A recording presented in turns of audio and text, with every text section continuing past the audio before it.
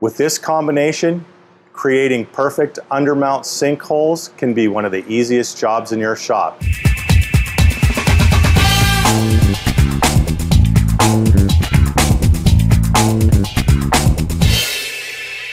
The Sink BULL is a router designed to easily and quickly shape perfect undermount sink cutouts.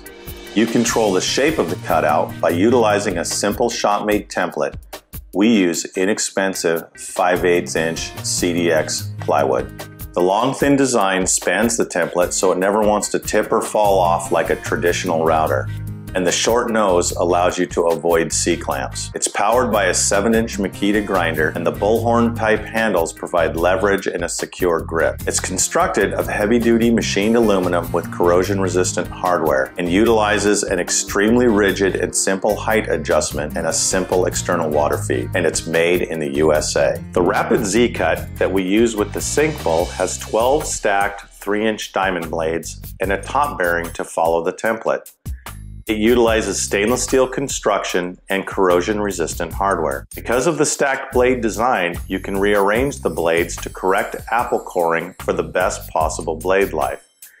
And inexpensive replacement blades are available. A unique feature of this Z-Wheel is the two-stage template follower bearing. After all the blades wear down approximately 1 10th inch, you can remove the outer ring and run the inner ring against the template. This way you never leave excessive material to remove in the final grinding step. We also sell a Rapid Z-Cut without the top bearing for freehand shaping or CNC use.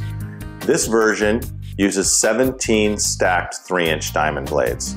Both versions have 5 8 11 threads but can be adapted to half gas if required with a simple adapter available from most distributors and both versions are compatible with center water feed if you want to use them on a center water feed tool.